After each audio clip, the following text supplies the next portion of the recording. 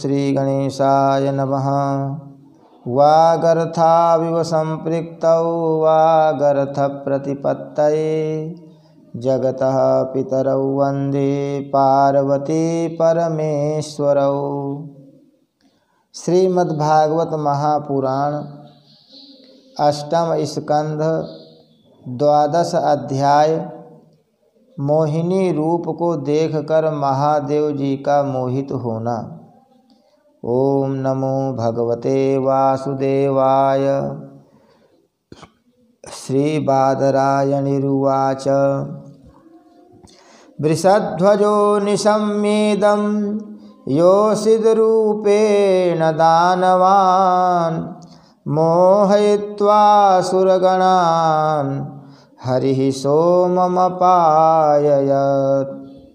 वृषमारुह्य गिरिशः सर्वभूतगणैर्वृतः। सह देव्याययौ द्रष्टुं यत्रास्ते मधुसूदनः। श्री सुखदेव जी कहते हैं, परीक्षित, जब भगवान शंकर ने यह सुना कि श्री हरि ने स्त्री का रूप धारण करके असुरों को मोहित कर लिया और देवताओं को अमृत पिला दिया। तब वे सती देवी के साथ बैल पर सवार हो समस्त भूत गणों को लेकर वहाँ गए, जहाँ भगवान मधुसूदन निवास करते हैं। भगवान श्री हनि, हरि ने बड़े प्रेम से गौरी शंकर भगवान का स्वागत सत्कार किया। वे भी सुख से बैठकर भगवान का सम्मान करके मुस्कुराते हुए बोले, श्री महादेव जी ने कहा, समस्त देवों के आराध्य देव, आप विश्वव्यापी जगदीश्वर एवं जगत स्वरूप हैं। समस्त चराचर पदार्थों के मूल कारण ईश्वर और आत्मा भी आप ही हैं। इस जगत के आदि अंत और मध्य आप से ही होते हैं। परंतु आप यदि आप आदि, मध्य और अंत से रहित हैं, आपके अविनाशी स्वरूप में दृष्टा, दृश्य, भोक्ता और भोग्य का भेदभाव नहीं है। वास्तव में आप सत्य चिन्मात्र ब्रह्म ही हैं। कल्याणकामी महात्मा लोग इस लोक और परलोक दोनों की आसक्ति एवं समस्त कामनाओं का परित्याग करके आपके चरण कमलों की ही आराधना करते हैं। आप अमृत स्वरूप समस्त प्राकृत गुणों से रहित, शोक की छाया से भी दूर, स्वयं परिपूर्ण ब्रह्म हैं। आप केवल आनंद स्वरूप हैं। आप निर्विकार हैं, आपसे भिन्न कुछ नहीं है, परंतु आप सबसे भिन्न हैं। आप विश्व की उत्पत्ति, स्थिति और प्रलय के परम कारण हैं। आप समस्त जीवों के शुभाशुभ कर्म का फल देने वाले स्वामी हैं, परंतु यह बात भी जीवों की अपेक्षा से ही कही जाती है वास्तव में आप सबकी अपेक्षा से रहित अनपेक्ष हैं। स्वामिन, कार्य और कारण, द्वैत और अद्वैत, जो कुछ है, वह सब एकमात्र आप ही हैं। ठीक वैसे ही जैसे आभूषणों के रूप में स्थित, सुवर्ण और मूल सुवर्ण में कोई अंतर नहीं है। दोनों एक ही वस्तु है लोगों ने आपके वास्तविक स्वरूप को न जानने के कारण आप में नाना प्रकार के भेदभाव और विकल्पों की कल्पना कर रखी है। यही कारण है कि आप में किसी प्रकार की उपाधि न होने पर भी गुणों को लेकर भेद की प्रतीति होती है। प्रभो, कोई कोई आपको ब्रह्म समझते हैं तो दूसरे आपको धर्म कहकर वर्णन करते हैं। इसी प्रकार कोई आपको प्रकृति और पुरुष से परे परमेश्वर मानते हैं तो कोई विमला उत्कर्षणी ज्ञाना क्रिया योगा प्रभि सत्या ईशाना और अनुग्रह इन नौ शक्तियों से युक्त परम पुरुष तथा दूसरे क्लेश कर्म आदि के बंधन से रहित पूर्वजों के भी पूर्वज अविनाशी पुरुष विशेष के रूप में मानते हैं। प्रभो, मैं ब्रह्मा और मरीच आदि ऋषि, जो सत्व गुण की सृष्टि के अंतर्गत हैं, जब आपकी बनाई हुई सृष्टि का भी रहस्य नहीं जान पाते, तब आपको तो जान ही कैसे सकते हैं। फिर जिनका चित्त माया ने अपने वश में कर रखा है और जो सर्वदा रजोगुणी और तमोगुणी कर्मों में लगे रहते हैं, वे असुर और मनुष्य आदि तो भला जानेंगे ही क्या। प्रभो, आप सर्वात्मक एवं ज्ञान स्वरूप हैं। इसीलिए वायु के समान आकाश में अदृश्य रहकर भी आप संपूर्ण चराचर जगत में सदा सर्वदा विद्यमान रहते हैं। तथा इसकी चेष्टा, स्थिति, जन्म, नाश, प्राणियों के कर्म एवं संसार के बंधन, मोक्ष सभी को जानते हैं। प्रभो, आप जब गुणों को स्वीकार करके लीला करने के लिए बहुत से अवतार ग्रहण करते हैं, तब मैं उनका दर्शन करता ही हूँ। अब मैं आपके उस अवतार का भी दर्शन करना चाहता हूँ, जो आपने स्त्री रूप में ग्रहण किया था। जिससे दैत्यों को मोहित करके आपने देवताओं को अमृत पिलाया। हे स्वामिन, उसी को देखने के लिए हम सब आए हैं। हमारे मन में उसके दर्शन का बड़ा कौतूहल है।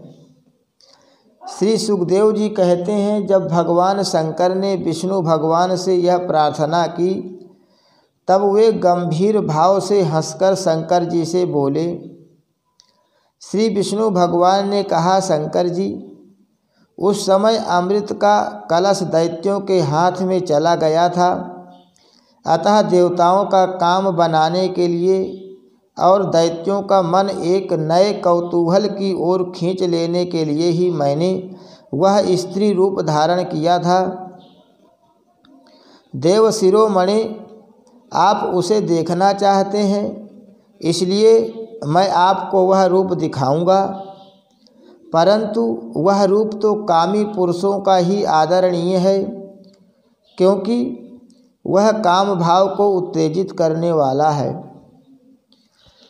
श्री सुखदेव जी कहते हैं, इस तरह कहते कहते विष्णु भगवान वहीं अंतर्धान हो गए और भगवान शंकर सती देवी के साथ चारों ओर दृष्टि दौड़ाते हुए वहीं बैठ रहे, बैठे रहे। इतने में ही उन्होंने देखा कि सामने एक बड़ा सुंदर उपवन है। उसमें भांति भांति के वृक्ष लग रहे हैं।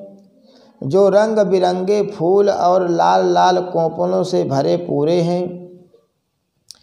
उन्होंने यह भी देखा कि इस उपवन में एक सुंदरी स्त्री गेंद उछाल उछाल कर खेल रही है। वह बड़ी ही सुंदर साड़ी पहने हुए है और उसकी कमर में करधनी की लड़ियाँ लटक रही हैं।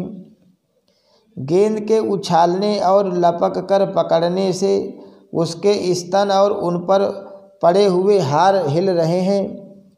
ऐसा जान पड़ता था, मानो इनके भार से उसकी पतली कमर पग पग पर टूटते टूटते बच जाती है। वह अपने लाल लाल पल्लवों के समान सुकुमार चरणों से, बड़ी कला के साथ ठुमुक ठुमुक चल रही थी। उछलता हुआ गेंद जब इधर उधर छलक जाता था तब वह लपक कर उसे रोक लेती थी। इससे उसकी बड़ी बड़ी चंचल आँखें कुछ उद्विग्न सी हो रही थीं। उसके कपोलों पर कानों के कुंडलों की आभा जगमगा रही थी और घुंघराली काली काली अलकें उन पर लटक आती थी, जिससे मुख और भी उल्लसित हो उठता था। जब कभी साड़ी सरक जाती और केसों की बेणी खुलने लगती। तब अपने अत्यंत सुकुमार बाएँ हाथ से वह उन्हें संभाल संभाल लिया करती, संभाल, संवार लिया करती। उस समय भी वह दाहिने हाथ से गेंद उछाल उछाल कर सारे जगत को अपनी माया से मोहित कर रही थी।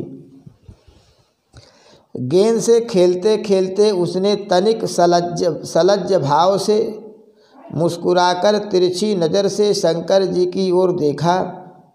बस उनका मन हाथ से निकल गया। वे मोहिनी को निहारने और उसकी चितवन के रस में डूबकर इतने बिहुवल हो गए कि उन्हें अपने आप की भी सुधी नहीं रही।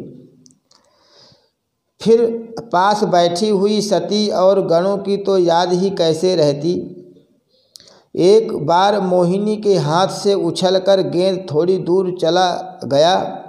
वह भी उसी के पीछे दौड़ी।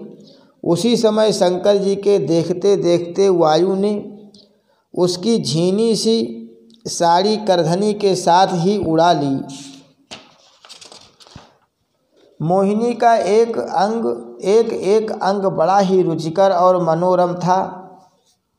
जहाँ आँखें लग जाती, लगी ही रहती। यही नहीं, मन भी वहीं रमण करने लगता। उसको इस दशा में देखकर भगवान शंकर उसकी ओर अत्यंत आकृष्ट हो गए। उन्हें मोहिनी भी अपने प्रति आसक्त जान पड़ती थी। उसने शंकर जी का विवेक छीन लिया। वे उसके हाव भाव से कामातुर हो गए और भगवान के भवानी के सामने ही लज्जा छोड़कर उसकी ओर चल पड़े। मोहिनी वस्त्रहीन तो पहले ही हो चुकी थी। शंकर जी को अपने ओर आते देख बहुत लज्जित हो गई। वह एक वृक्ष से दूसरे वृक्ष की आड़ में जाकर छिप जाती और हंसने लगती, परंतु कहीं ठहरती नहीं थी। भगवान शंकर की इंद्रियाँ अपने वश में नहीं रहीं। वे कामवश हो गए थे। अतः हथनी के पीछे हाथी की तरह उसके पीछे पीछे दौड़ने लगे।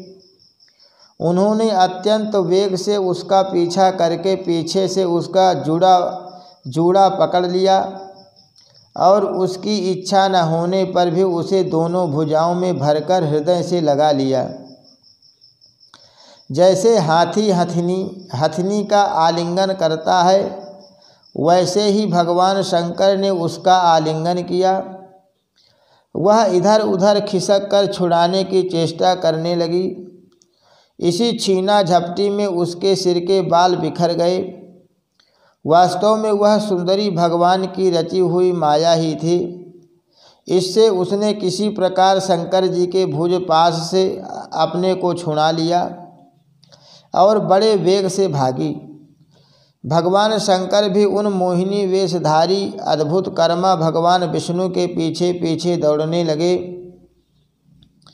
उस समय ऐसा जान पड़ता था, मानो उनके शत्रु कामदेव ने इस समय उन पर विजय पाप, विजय प्राप्त कर ली है।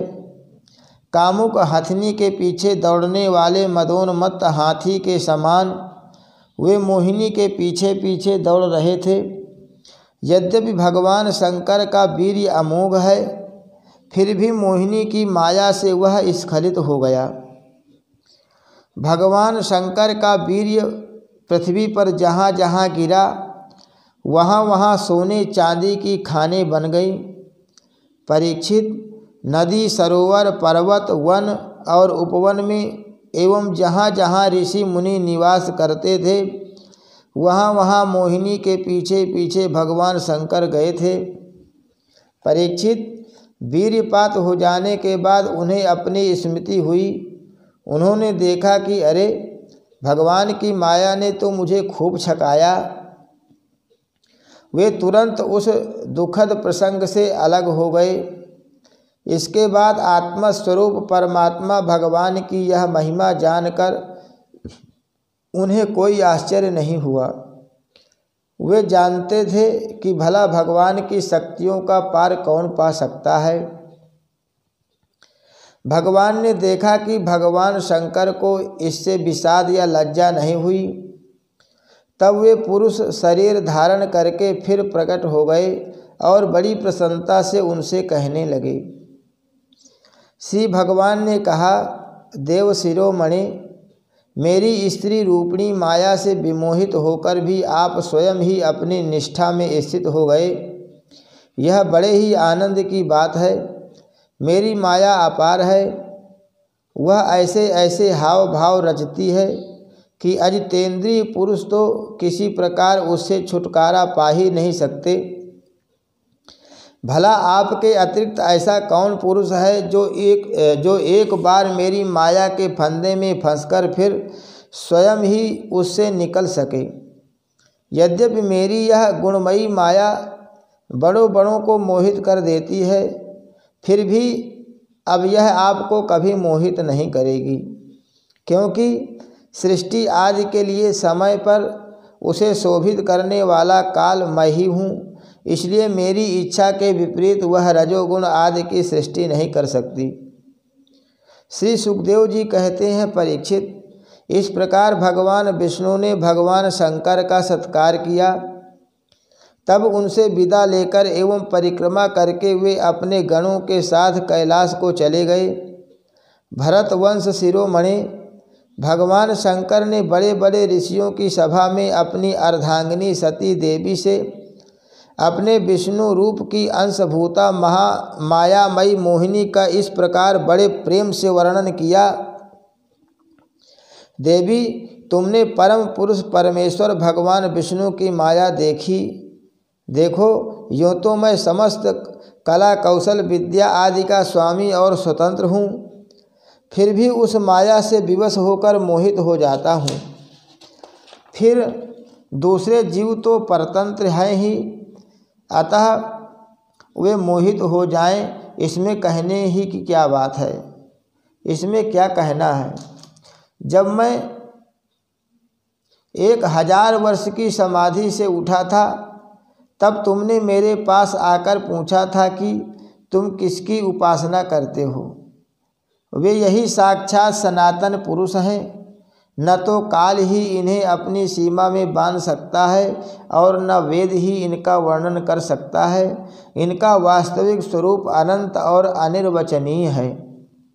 श्री सुखदेव जी कहते हैं, प्रिय परीक्षित, मैंने विष्णु भगवान की यह ऐश्वर्यपूर्ण लीला तुमको सुनाई, जिसमें समुद्र मंथन के समय अपनी पीठ पर मंदराचल धारण करने वाले भगवान का वर्णन है। जो पुरुष बार बार इसका कीर्तन और श्रवण करता है, उसका उद्योग कभी और कहीं निष्फल नहीं होता, क्योंकि पवित्र कीर्ति भगवान के गुण और लीलाओं का गान संसार के समस्त क्लेश और परिश्रमों को मिटा देने वाला है। दुष्ट पुरुषों को भगवान के चरण कमलों की प्राप्ति कभी नहीं हो सकती। वे तो भक्ति भाव से युक्त पुरुष को ही प्राप्त होते हैं। इसी से उन्होंने स्त्री का मायामय रूप धारण करके दैत्यों को मोहित किया और अपने चरण कमलों के शरणागत देवताओं को समुद्र मंथन से निकले हुए अमृत का पान कराया। केवल उन्हीं की बात नहीं, चाहे जो भी उनके चरणों की शरण ग्रहण करे, वे उसकी समस्त कामनाएँ पूर्ण कर देते हैं। मैं उन प्रभु के चरण कमलों में नमस्कार करता हूँ। हरि शरणम श्री कृष्णार्पणमस्तु